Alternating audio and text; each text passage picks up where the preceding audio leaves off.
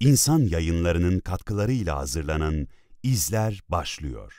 Sabırlı olmak gerekiyor. Kısa yolda olacak şeyler değil, bazı şeyler var. Mücadele istiyor, fedakarlık istiyor. Peygamberlerin ortak özelliğidir. Hizmete karşı sizden bir menfaat istemiyoruz. Biz ücreti Allah'tan bekliyoruz. Bu anlayışla hizmet edilirse faydalı olacağına inanıyorum.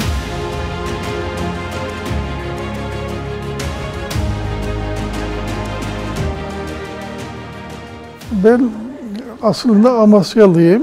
Amasya'ya 30 kilometre mesafede Akyazı köyü. Orada doğdum. Fakat aslında 93 muhaciriyiz biz. Ee, babam Akyazı'da doğdu. Ben de Akyazı'da doğdum ama dedem Batum'dan gelmiş. 1978, 77, 78 Osmanlı-Rus Harbi'nde. Elviye-i Silase diye bilinen e, Batum, Ardahan, bir de Kars, üç vilayet.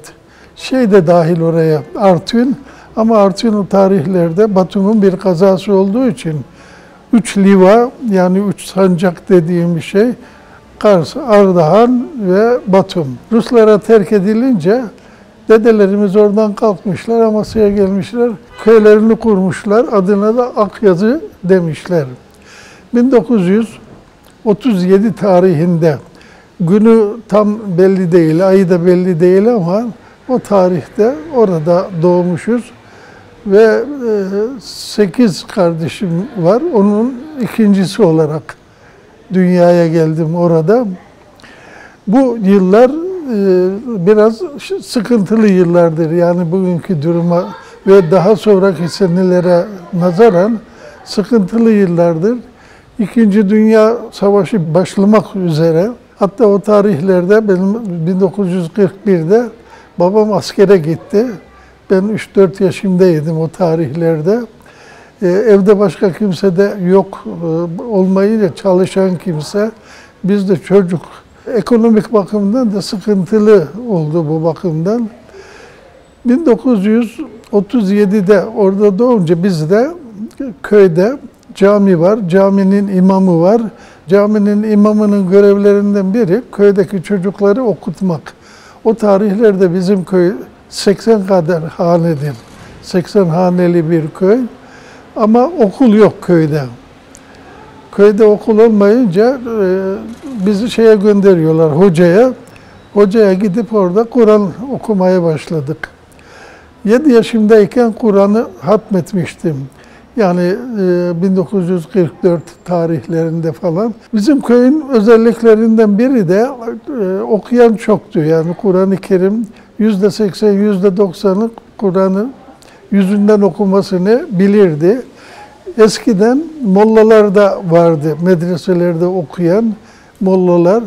Babamın iki amcası vardı. Biri Molla Mehmet, biri Molla Eyüp diye bilinir. Onların kitaplarını da sonradan ben gördüm. Yani okudukları kitapları falan.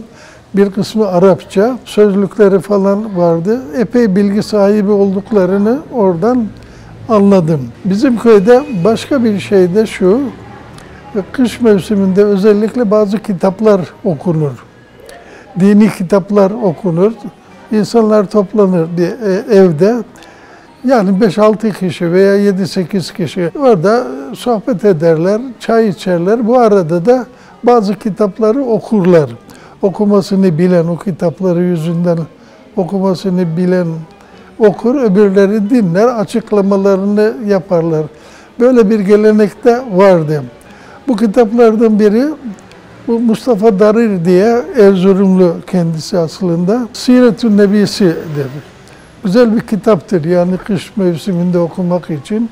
Başka bir kitap e, Ahmediye adında bir kitap. O da halkın anlayacağı şekilde yazılmış bir kitap.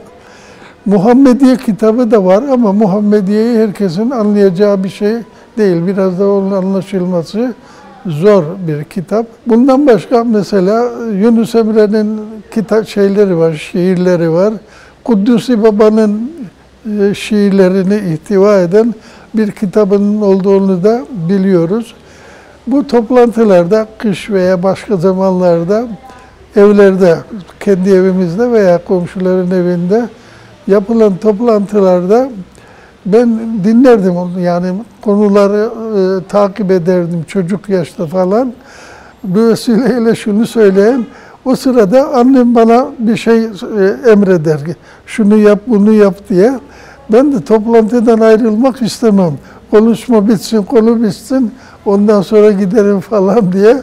Annemin de rahmetlinin canı sıkılırdı. Sonra bana kulak mollası demeye başladı. yani dinlemekle dini bilgiler veyahut orada ahlaki şeyler anlatılıyor. Böyle sohbetlere meraklı olduğu için öyle bir isim vermişler. Sonra da bu unutuldu tamam ama benim hatıramda kaldı. O önemli bir şey oldu.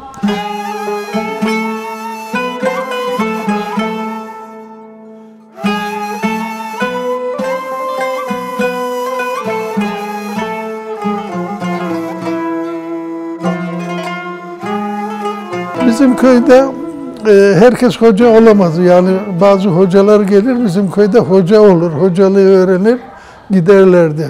Şöyle bir şey vardı. Hafızdı gelenler. Kur'an'ı güzel biliyorlar ama bizim köyde fıkıh bilgisi vardı. Hazreti Peygamber'in hayatını bilirlerdi o Siretün Nebi okudukları için. Kur'an okumasını bilirlerdi. Gelen hafızların fıkıh bilgisi fazla değildi. Yani namazın farzı, vacibi, namazı bozan bozmayan şeyler vesaireler falan o bilgilerini bizim köyde tamamlarlardı. Ama bizim köye gelen iyi hocalar da vardı. Onlardan birinin biri çok önemli. 1930'lu yıllarda, 29-30'lu yıllarda Batum'da yani Sovyet sistemi vardı o zaman. Din adamları üzerinde baskı arttı. Son derece şey sıkıştırmaya başladılar. Birçoklarını sürüyorlardı. Bazılarını idam ediyorlardı. Batum müftüsü o tarihlerde Batum'dan kaçtı ve Amasya'ya gelmişti. Amasya'dan da bizim köye geldi.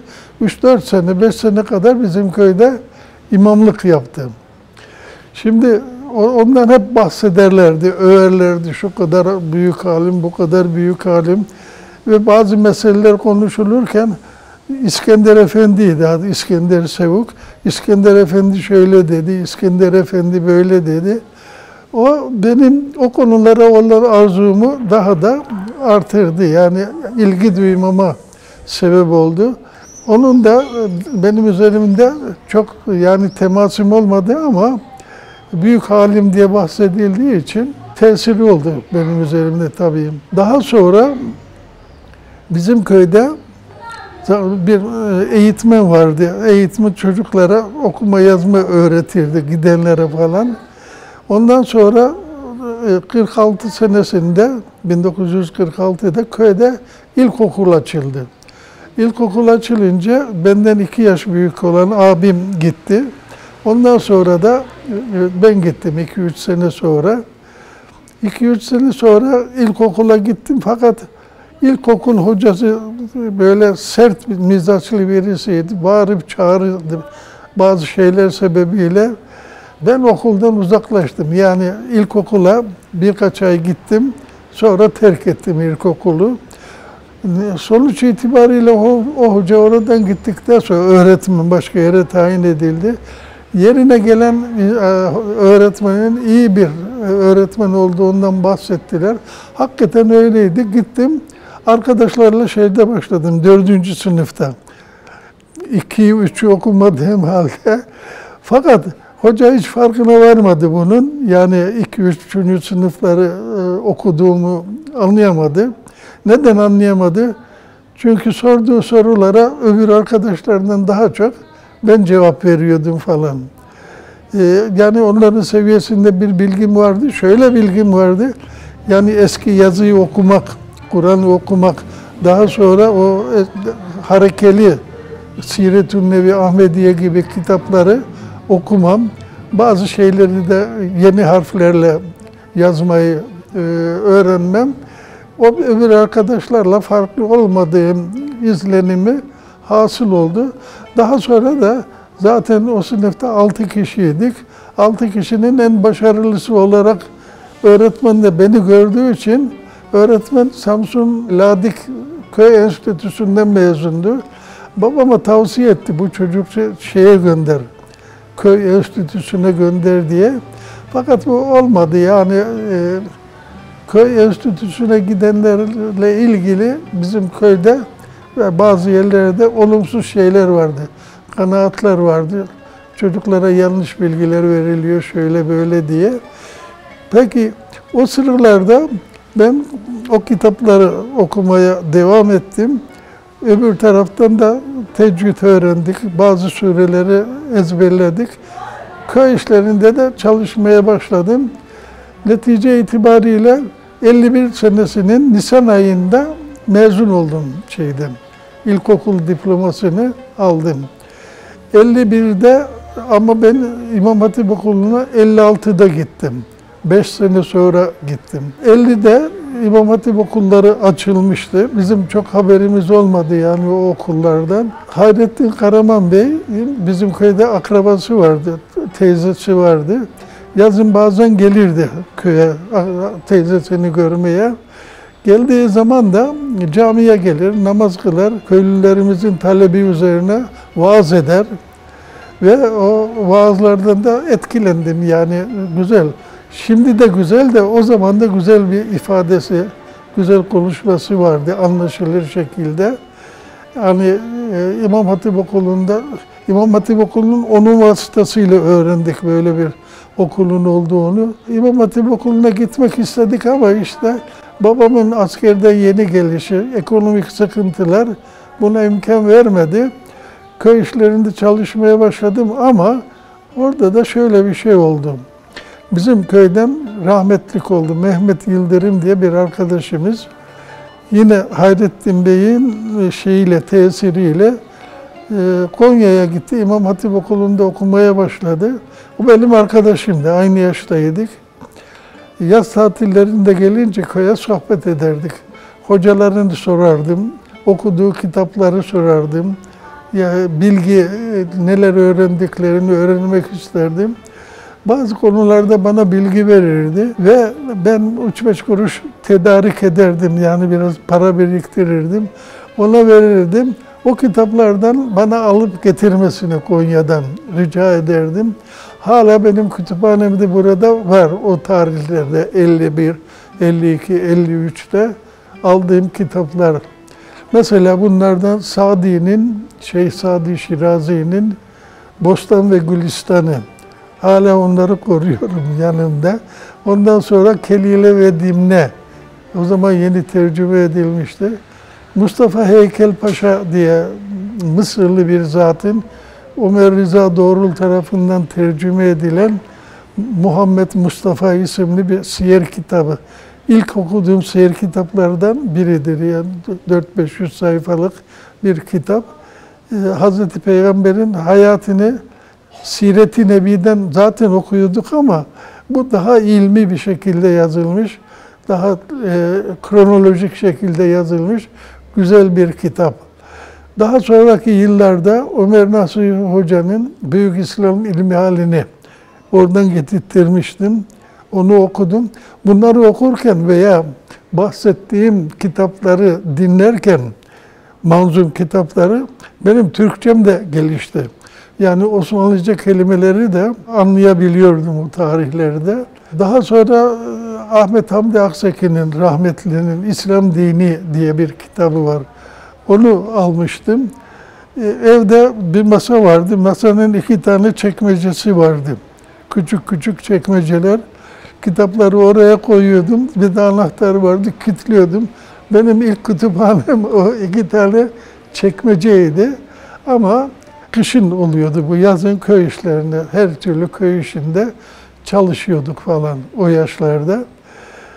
Bu iş böyle devam ederken sene geldi 1956'ya. 56 olunca 30, 37 doğumlu da olduğuma göre yaşım demek ki 19. 19 yaşıma geldim, askere gideceğim. Bir de benim küçüğüm var, onun adı e, Süleyman o tarihe kadar yani 1956'ya kadar Benim köydeki adım Osman'dır. Abimin adı İsmail, benimki Osman olarak kondu. Ve annem babam hayatta oldukları sürece bana Osman derlerdi. Şimdi de köylülerimiz, köylü, köydeki yakınlarımız beni Osman olarak bilirler. Çorum İmam Hatip Okulu açılmıştı Çorum'da. Oraya gidebilir, okuyabiliriz diye düşünüldü. Ee, ama askere gitmem gerekiyordu. Yani 19 yaş olanı şeye ilkokula, ortaokula da almıyorlardı İmam Hatip Okulu'na. 16 yaşında olması lazım. Benim o Süleyman diye bahsettiğim kardeşim de çobanlık yapıyordu. Koyunlarımız vardı. Bıkmıştı ondan. Onu bırakmak istiyordu. Dediler ki o zaman e, şöyle bir formül bulundu. Bu askere gitsin senin yerinde. O da böyle görkemli yani vücudu vücudu iyi tam asker olacak şeyde. Sen de onun nüfus cüzdanı ile ki 16 yaşındaydı o zaman. Çorum İmam Hatip Okulu'na git kaydol. Fakat e, bir e, işin enteresan tarafı nüfus kağıtlarında fotoğraf yoktu. Yani sonradan fotoğraf koyuyorlardı çocuk yaşta yapıştırmıyorlardı. E, büyüyünce değişir falan diye. Şimdi fotoğraflarımızı çektirdik. Benim nüfus cüzdanımı onun fotoğrafı, onun foto nüfus cüzdanına benim fotoğrafım. Köy muhtarı da imza şey mühürü bastı. Bu Süleyman'dır, bu Osman'dır diye. Aldım şeyi, nüfus kağıdını gittim Çorum'a kaydoldum. İmam Hatip Okulu'na kaydoldum. Ve 56'da e, başladık İmam Hatip Okulu'na. 7 e, sene orada okudum. 7 sene 63'e kadar orada okuduk. İyi okuduk yani rahat okuduk. Zor, okumada zorluğum olmadı. Yalnız orada öğreneceğim fazla bir şey de olmadı İmam Hatip Okulu'nda. Şöyle, çünkü hoca yoktu o tarihlerde. Ankara İlahiyat'tan mezun olan bazı hocalar vardı. Ben onlardan dini bilgileri daha iyi biliyordum. Yani e, demin bahsettim. Ahmet Hamdi Akzeki'nin İslam ilmi şey İslam dinini okumuş biri olarak Muhammed Mustafa diye Hüseyin Heykel Paşa'nın siretini okumuş olarak yani hocanın da o konuda anlattığı o kadar bilgisi yoktu zaten o kitaplardaki kadar. Şeyde de öyle Nasuhi Hoca'nın Büyük İslam, İslam ilmi halindeki hem e, itikatla ilgili bilgiler hem ibadetle ve başka şeylerle ilgili bilgiler e, biliyordum ben.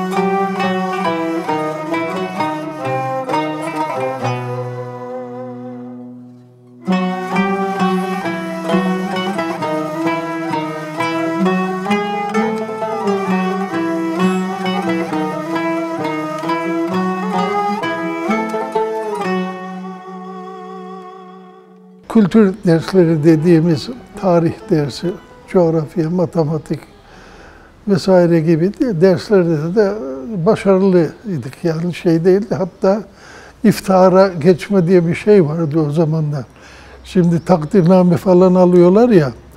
O zaman da başka türlü işte e, iftara geçme diye bir şey vardı. Fotoğrafımızı alıyorlar, asıyorlardı falan. Dini mesleki dersleri bilmiş olmam bana zaman da kazandırdığı için arda, arkada kalan zamanları ben şeye harcıyordum. Dini bilgileri ilerletmeye. O tarihlerde ben tefsir kitapları okuyordum fıkıh kitapları okuyordum, kelamla ilgili kitapları okuyordum boş zamanlarda. Orada da bazı hocalarla, e, İmam Hatip Okulu'nun dışında bazı hocalarla tanışma imkanımız oldu. Onların tavsiyeleri oldu, onların tavsiye ettikleri kitapları e, oldu.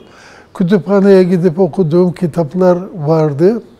Onlardan birisi Mustafa Atak diye bir matbaacı böyle kitap okumaya meraklı birisiydi. Allah rahmet etsin. Onun da bana kitaplar var tavsiye ettiği.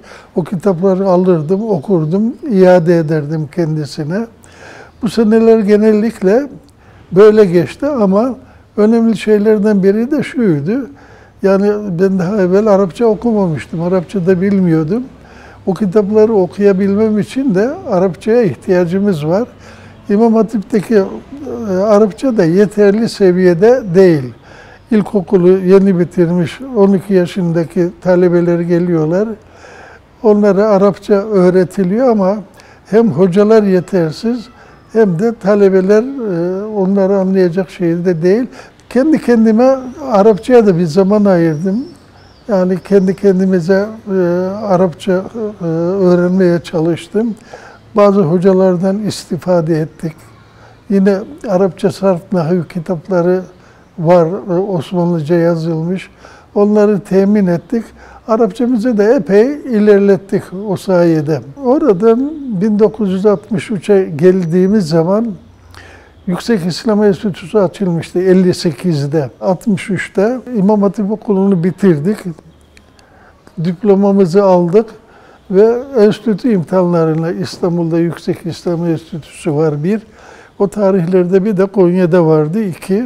İmtihanlarına girdik. İki tane imtihan oluyordu. Bir İstanbul'da sorular hazırlanıyor. Mesleki sorular Arapça, fıkıh vesaire gibi e, ilim dallarından gönderiyorlar bunu şeye imam hatiplere. İmam hatiplerde zarf açılıyor, talebelere yazdırılıyor sorular. Sonra kağıtlar toplanıyor, İstanbul'da değerlendiriliyor. O sınavları başarı ile yani ilk sıralarda başararak İstanbul'un sınavını kazandık. Bir de mülakat vardı. Orada da başarılı olduk tabii. İstanbul'daki hoca durumuna gelince o hocaları biz kıyamen zaten tanıyorduk. Kitaplarını okuyorduk. Mesela iki, iki tanesini söyleyeyim, iki üç tanesini. Zekai Korrapa vardı, Allah rahmet etsin. Tarihçiydi o. Ee, onun Siyer-i Nebi diye Hazreti Peygamber'in hayatını anlatan kitaplarını İmam Hatip Okulu'nda ders kitabı olarak okumuştuk. Aynı şekilde e, Nihat Sami Banarlı'nın lise 1, lise 2, lise 3 edebiyat kitapları vardı. O kitapları biz zaten okumuştuk ama hocaları merak ediyoruz. Yazarı kim, unvanı ne falan vesaire. Merak konusuydu biz. Heyecanla bekliyorduk şeyleri. Ondan sonra Osman Pazarlı diye rahmet etsin Allah hepsine. Onun da kitaplarını okumuştuk. Psikolojiyle ilgili, sosyoloji, mantıkla ilgili onun kitaplarını okumuştuk şeyde İmam Hatip Okulu'nda. Nasuhi Hoca'nın e, Büyük İslam ilmi halini okumuştuk. E, ondan sonra Farsça kitaplar vardı yazılmış onları.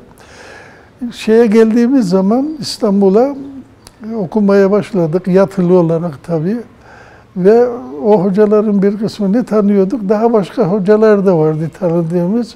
Çünkü kitaplarını okumuştuk biz onların veya onlardan bahsedilmişti bize. Bunun yanı sıra eksik şeyler de vardı. Yani Yüksek İslam Enstitüsü adı öyle ama e, fazla bilgisi olmayan hocalarımız da vardı. Yeteri kadar bilgi sahibi olmayan şu veya bu yoldan hoca diye oraya atanmış. E, atanmış şey hocası, hadis hocası olarak ama hadisi bilmiyor. Arapçası yeterli değil, Arapça hocası diye şey yapıyor.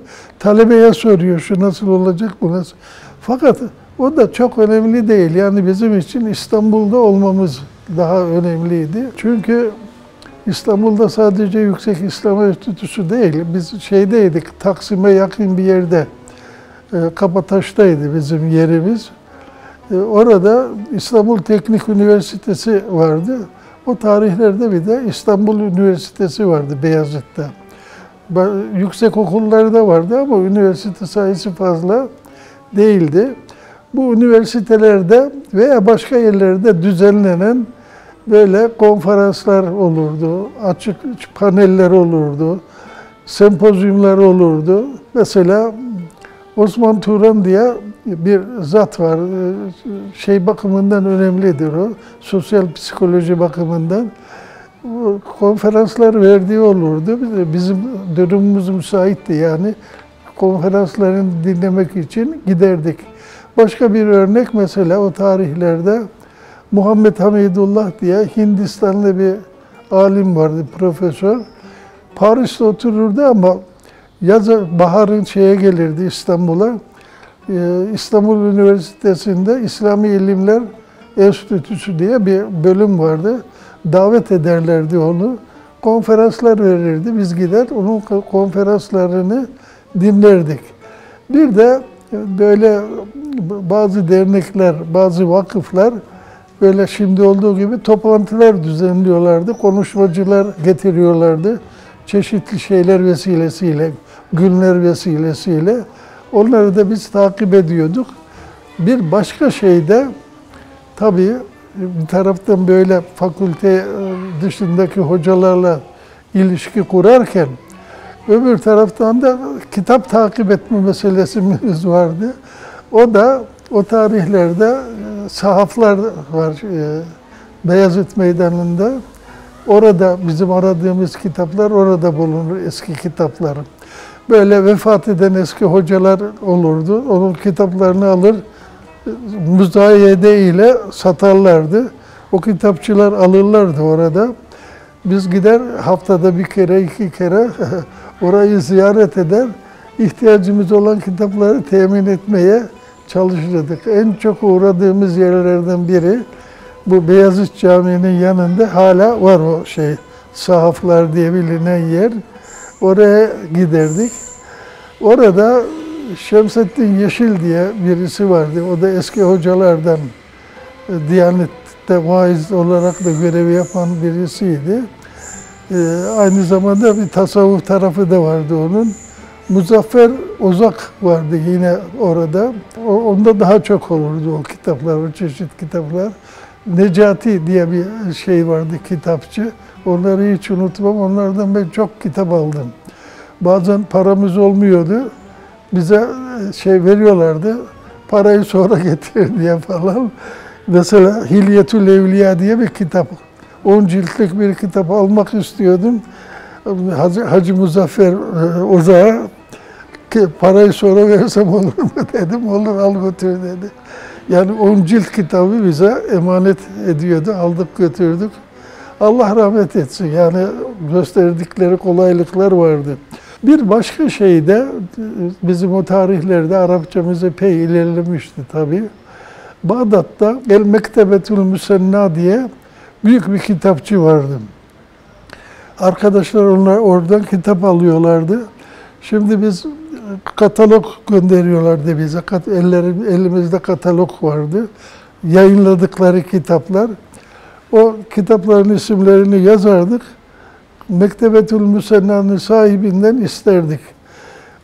Para yatırmadan bankaya falan Allah rahmet etsin. Yani bize enstitü adresini verince o kitaplar geliyordu. Derlerdi ki Karaköy'de şey vardı. PTT'nin bir binası vardı. Şimdi hala var mı yok mu bilmiyorum o. Galata Port'un olduğu yere yakın.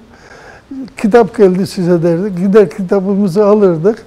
Ondan sonra faturası da var içinde. Onu da yatırırdık. Parasını giderdi. Kitap temin etmenin bir yolu da öyle. Yani sahip olduğumuz kitapların, Arapça kitapların önemli bir kısmı öyle temin edildi ama daha sonraki yıllarda da buna devam ettik tabii. Dört sene İstanbul'da yatılı olarak aşağı yukarı hayatımız böyle geçti. Hem sosyal faaliyetlere katılma, hem derslere devam etme, hem kitap vesaire işini takip etme. Ayrıca orada bir de çevremiz oluştu.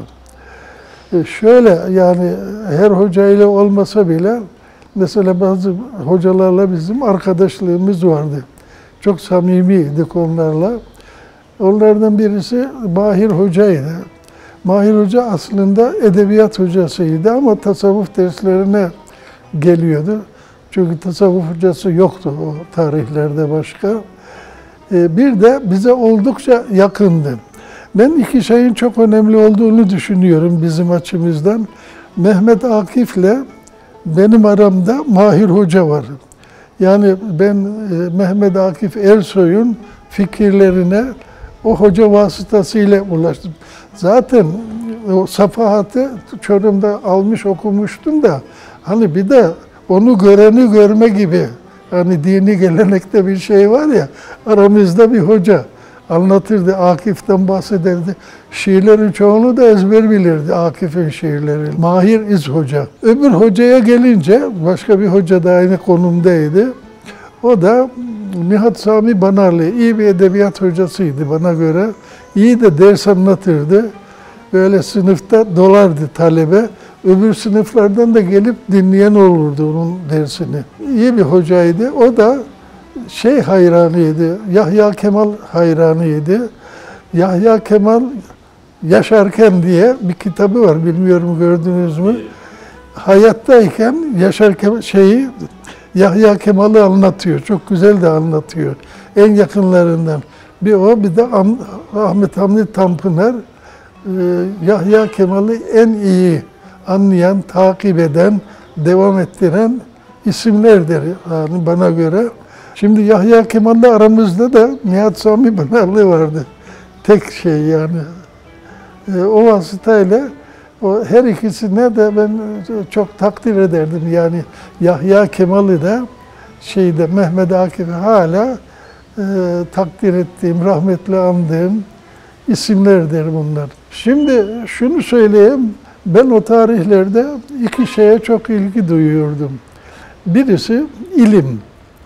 İlim dediğim zaman ben yani İmam Hatip okuluna niye geldim? Amasya'da lise vardı, orada okuyabilirdim yani. Ama tuttuk Çorum'a geldik, şey için geldik, dini bilgiler edinmek için oraya geldik. Nedir bu? Tefsir. Kur'an-ı Kerim'i anlamak istiyorum yani onu okuyorum. İkincisi hadis. Hazreti Peygamber'in hayatını, hadis kitaplarını okumak istiyordum ve ana kaynaklardan öğrenmek istiyordum. Türkçe kaynaklardan değil. Yani o konuda yazılan tefsir kitaplarını. Onun için de Arapçamızın gelişmesi gerekiyordu. Üç, fıkıh. Fıkıh kitapları da öyle.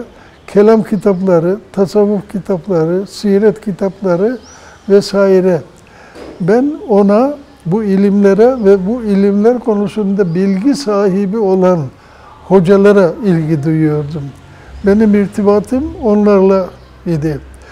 Şimdi böyle Necip Fazıl gibi, Nurettin Topçu gibi veyahut Sezai Karakoç gibi insanlar vardı. Bunlar değerli insanlardı yani şair olarak, mücadele insanları olarak ve yeni nesiller üzerinde önemli tesirler bırakan kişiler olarak bana göre önemliydi. Ama benim onlardan öğreneceğim demin söylediğim manada bir şey yok yani. Yani bunlardan ben tefsir okuyacak değilim. Ondan sonra hadis okuyacak veya fıkıh veya kelam e, okuyacak değilim. Onlardan çok e, biliyordum zaten bu ilimleri. Onun için onlardan ziyade öbür şeylere ilgi duyuyordum.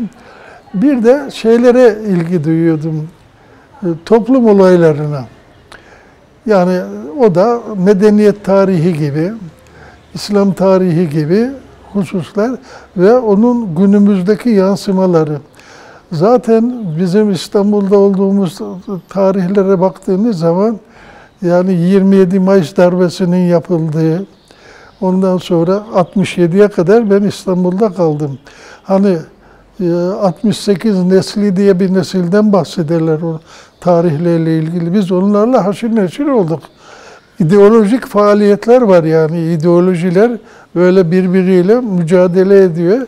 Onlara ilgi duymamak din adına, milliyetçilik adına, memleket ve vatan adına ilgi duymamak mümkün değil.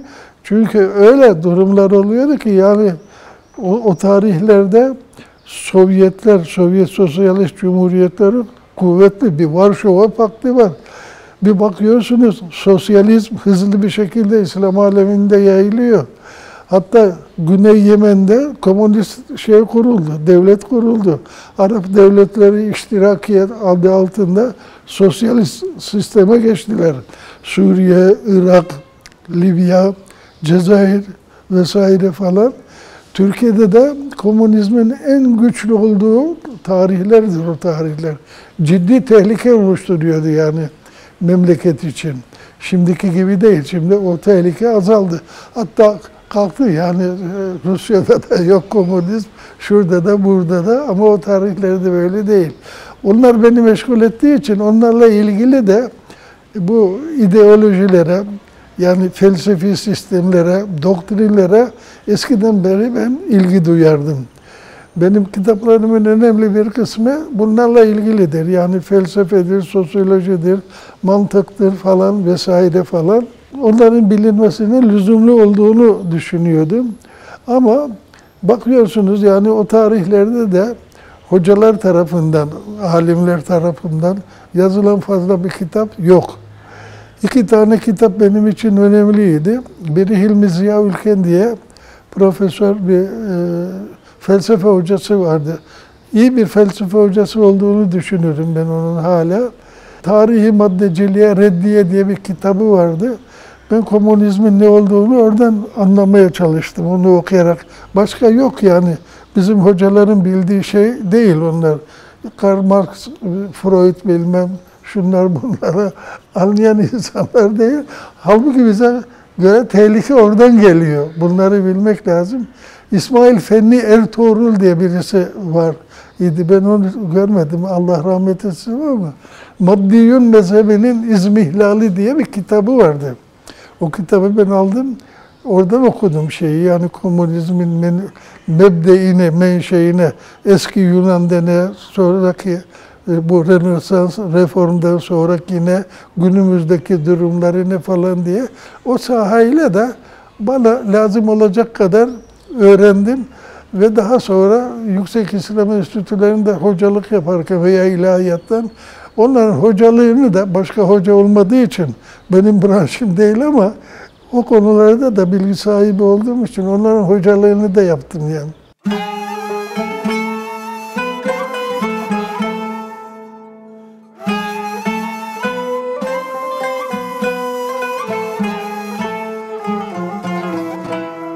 Şimdi ne oldu? Şu oldu. Yani e, Doğu bloku ile e, Batı bloku arasında mücadele devam ediyor. O zamanki deyim ile bir tarafta NATO, öbür tarafta Varşova Paktı. Mücadele ede ede nihayet 1991 tarihine gelindiği zaman Sovyet sistemi çöktü. Ve Sovyetler dağıldı. Yani bizzat Ukrayna, Belarus ve Sovyet Federasyonu bir araya gelerek biz bu şeyden çekiliyoruz dediler sistemden. Ve böylece enteresan bir şey oldu. Müslüman devletler ortaya çıktı. Bağımsız olarak ortaya çıktı. Bakın bu e, bazı şeylerde şer olan şeylerde hayır vardır diyoruz ya. Yani evet Sovyet sistemi dağıldı ama Tacikistan, Kırgızistan, ondan sonra Kazakistan 3, Özbekistan 4, Türkmenistan 5, Azerbaycan 6. 6 tane Müslüman devlet ortaya çıktı. Halinde bağımsızlıklarını koruyorlar. Problemleri var, şöyledir, böyledir ama e, benim en çok merak ettiğim şeylerden birisi de oydu zaten. Ta İmam Hatip'teyken, Yüksek İslam Enstitüsü'ndeyken okuduğumuz kitaplara bakıyorum. Bunların hepsi Türkistan'da yazılmış, Horasan'da, Maveraun'da, Harizm'de yazılmış. Ondan sonra e, Horasan'da vesaire. Ama oralar şimdi şeylerin yani dinsizlerin hakim olduğu yer. Yani herhangi bir şekilde değil. Din resmen yasak. Yani camiler kapatılmış, ibadet hayatı yasak, eğitim, öğretim dini manada yasak. Şimdi o yasaklar kalkınca benim 92'de ilk işim bir Sovyet şeyi aldım, vizesi şeyden, Trabzon'dan. Bir ay oraları gezdim yani şeyi. Az, şey, Gürcistan, Azerbaycan, Türkmenistan ne var ne yok diye. Ondan sonra da e, epey gidip geldim o bölgelere. Şimdi gelelim şuna. 1967'de diplomamızı elimize aldık Haziran ayında. Ondan sonra bir torba usulü diye bir şey vardı. Bizi tayin ettiler şeye memur, öğretmen olarak. Gittik Ankara'da bir de kura çektirdiler. Kastamonu İmam Hatip Okulu'nu çektik. İmam Hatip Okulu'na öğretmen olarak tayin ettiler bizi. Kastamonu'da üç seneydi açılalı. Bir, iki, üç sınıf vardı. Orada üç sene kaldım Kastamonu'da. Orada da iyi yani o talebelerimden bazıları akademisyen oldular. Bazıları önemli mevkilere geldiler. Hala benim onlarla irtibatım var. Ondan sonra orada da yani alimler vardı orada da hocalar eskiden kalan. Onlarla da irtibatımız oldu. Oradaki üç senede faydalı geçti. Ondan sonra işte Kayseri Yüksek İslam Enstitüsü'ne hoca alınacak deyince müracaat ettik. Ondan sonra Ankara'da üç kişinin huzurunda birisi Kemal Edip Kürkçüoğlu, birisi Mahir İz Hoca, birisi de e, İbrahim Aga Çubukçu. Orada sınavdan geçtik. Bizi tayin ettiler şeye, Kayseri Yüksek İslam Enstitüsü'ne tasavvuf tarihi, irşat ve tebliğ diye bir hocalık şeyiyle. Orada da şöyle bir sistem vardı. Sınavdan geçeceksin. İki sene bir hocanın nezareti altında bir tez hazırlayacaksın. Hocaya kabul ettireceksin. Ondan sonra Yüksek İslam Enstitüsü'nün e, esas hocası olacaksın. Şey bu. Buna uymayanlar da vardı ama bizim tabi olduğumuz statü oydu. İşte bizim şey hocamız da Mahir Hoca'ydı. Allah rahmet etsin. Onunla İslam'da musiki dersimiz tasavvuf olduğu için İslam açısından musiki ve sema, semayı da koyduk oraya. O kitabı hazırladık. E, kabul ettiler. Ondan sonra da askere gittik. Tuzla Piyade Okulu'nda 6 ay kaldıktan sonra ondan sonra gittik Pınarhisar'a Kırklar elinde. Neyse Kayseri'ye gittik. Kayseri'den de burası yeni açılmıştı 1975'te. E, Bursa Yüksek İslam Enstitüsü'nün ilk hocası ben oldum. Bir de Halis Ayhan diye bir arkadaşımız da müdür olarak aynı tarihte şeye geldik, Bursa'ya geldik. Şimdi şunu söyleyeceğim. Biz buraya geldikten sonra hani Bursalı mısın, Uludağ soyadı nereden geliyor diye anlatıyordum yani mesele böyle diye. Fakat daha sonra baktık ki şey oldu. E, Bursa Üniversitesi vardı burada. Adı Bursa Üniversitesi'ydi. 1980'den sonra üniversitenin adı değişti. Uludağ Üniversitesi oldu. Bizim soyadıyla benim İlahiyat Fakültesi de oraya bağlanınca e, Uludağ Üniversitesi'nin hocası olduk. Süleyman Uludağ, Uludağ Üniversitesi'nin hocası. Yani tevafuk oluyor, rastlıyor böyle ama Allah böyle de rastlatıyor yani böyle şeyler oluyor.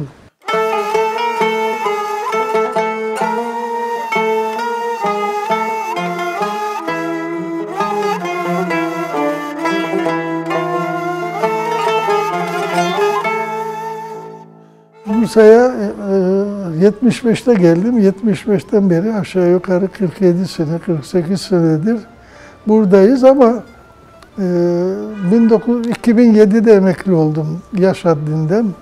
6 sene daha devam ettim. 2013'e kadar 9 senedir de emekli olduk ama burada başka meşgalelerimiz var, başka işlerimiz var. Onlarla devam ediyoruz hayatımız böyle gidiyor. Bir taraftan eski kitapların tasihi var. Bazı makaleler yazıyoruz. İşte bakın Süleyman Çelebi, bak burada bir adaşım daha var. Buraya yakın onun yeri de arkada. Burası da aslında Ahmet Gazi dergahı bir dervişin e, dergah kurduğu yer buraya yakın. Öyle bir yerde. Ama benim söyleyeceğim şey şu, UNESCO, Birleşmiş Milletler UNESCO bu seneyi şey Süleyman Çelebi senesi olarak ilan etti. Mevlid yazarı ve bu zat mutasavvıftır, şairdir, mutasavvıftır. Şair olmadan, edebiyatçı olmadan evvel yani dini bir özelliği var ve sadece Bursa için değil, bütün Anadolu için ve Anadolu için değil sadece Balkanlar için de öyle hala tesirlidir. Hala dini hayatın yaygınlaşmasında, canlılığını korunmasında Mevlid'in önemi büyüktür. Onunla ilgili burada bir iki sempozyum yapıldı. Bu sene yine çalışmalar yapılıyor. O toplantılara katılıyoruz. Onunla ilgili makaleler yazıyoruz. Başka dergilerde de öyle işte İlim İrfan dergisinde veya benzeri dergilere yazılar yazıyoruz. Bunun dışında başka çalışmalarımız da oluyor. Ayrıca benim Batum'da da bazı işlerimiz var. Orada da talebe yurtlarım var benim. Ee, bu Batum'un Hulu kazası diye bir şey var. O iki tane talebe yurdu var. Birinde kızlar var, 30 tane kız. Öbüründe 25 tane erkek, ayrı ayrı yurtlar. Bunlar oranın lise son sınıf talebeleri. Üniversiteye hazırlıyoruz. Üniversite imtihanlarını kazanıyorlar. Tiflis'e gidiyorlar. Üniversitede okuyorlar. Onların bir kısmını bazıları isteyenler buraya geliyor. Ee, Bursa'ya, Samsun'a, Trabzon'a, Rize'ye, İstanbul'a burada okuyan Batumlu talebeler var ilahiyatlarda.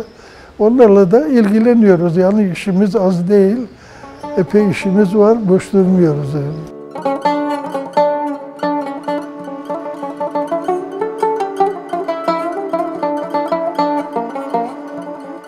Biz bir, bir takım şey sıkıntılı dönemden geçtik dedim. Yani okuma bakımından söylüyorum, bilgi edinme bakımından.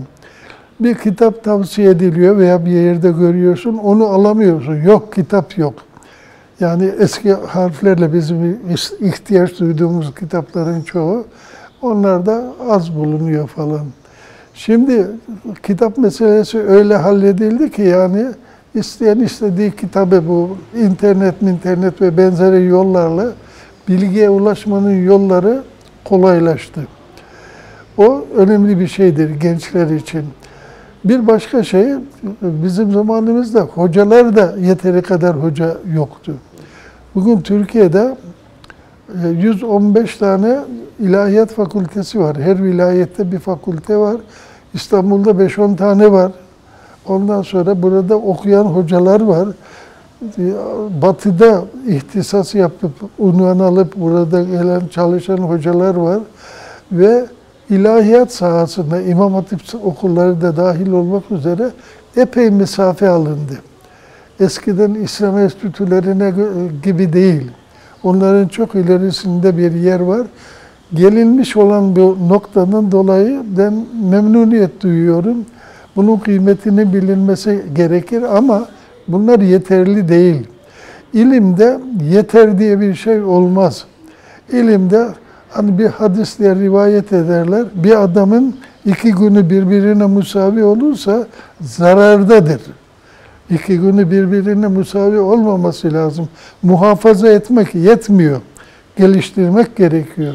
Geliştirmek, ilerletmek olmazsa durgunluk oluyor. Durgunluk gerilemeyi getiriyor. Onu tavsiye ediyorum. Yani e, biz bir noktaya kadar getirdik. Yani daha evvelki nesillerden de faydalanarak onları da teşekkür borcumuzu ifade etmek istiyorum. Onları da rahmetle almak istiyorum. Eksikleri olur, şu olur, bu olur, eleştirilen tarafları olur ama büyük hizmetler ifa ettiler zorluk zamanlarında, zor zamanlarında. Biz de bir yerden aldık. Aşağı yukarı işte 75 senedir bu işin içindeyiz. İşler epey kolaylaştı başka sebeplerle de. O gençlerin gelinen noktadan bu işleri alarak daha ileriye götürmeleri İslam aleminin bu ezilmişlik, dağılmışlık durumundan kurtarmak için İslam alemini e, meşru ve makul yol üzerinden gitmelerini tavsiye ediyorum. Meşru dediğim, şunu kastediyorum meşruluktan, dinimizin aslına, esasına uygun bir çizgide ilerlemelerini, makul yoldan, maksadım da makul ve mantıklı, akla uygun bir yoldan. Bu ikisi birlikte olmazsa, tek tarafta hani eskiden de derlerdi, tek kanatla kuş uçmaz. Kuş iki kanadı olursa uçar. Şimdi biz de ben de aynı şey makuliyet ve meşruiyet. meşruiyetle dine uygunluğu, ayet ve hadise uygunluğu, makuliyetle de dünyada muteber olan ilmi, fikri hayatı ve memleketimizin ihtiyaç duyduğu teknolojileri önemsemek, e, Müslümanları uyarmak, buna teşvik etmekle olur diye düşünüyorum. Ama ayet ve hadislere, İslam'ın dininin esaslarına da canı gönülden bağlı kalarak bunu yapma. Fakat öbür taraftan da sabırlı olmak gerekiyor. Kısa yolda olacak şeyler değil, bazı şeyler var. Sabır istiyor, mücadele istiyor, fedakarlık istiyor. Bu para için olmaz bu iş, makam için de olmaz bu iş. O iş fedakarlık istiyor. Peygamberler tarihine baktığınız zaman peygamberler ve ma es'elukum aleyhi min ecrin enciye illa ala rabbil alemin diyorlar. Peygamberlerin ortak özelliğidir. Yaptığımız hizmete karşı sizden bir ücret, bir menfaat istemiyoruz, bir şey beklemiyoruz. Biz ücreti Allah'tan bekliyoruz. Bu anlayışla hizmet edilirse faydalı olacağına inanıyorum. Aralarında hayırda yarış dediğimiz yarış olur, olmalı, yarışmalılar ama rekabet olmamalı, birbirine engel olmamalı. Bu gruplar, bu cemaatler birbiriyle uğraşmamalı. Ortak düşmanlarımız var. Uğraşacaklarsa onlarla uğraşsınlar. Onlarla uğraşırken de yine tarih için kışkırtmak şeklinde değil de yine makul yoldan, meşru yollarla mücadelelerini yürütmeleri gerekir. Daha iyi günlere ulaşmanın yolu olarak ben bunu görüyorum. Belki biz bunu tam olarak göremiyoruz ama inşallah Cenab-ı Hak bunu yeni nesillere nasip eder.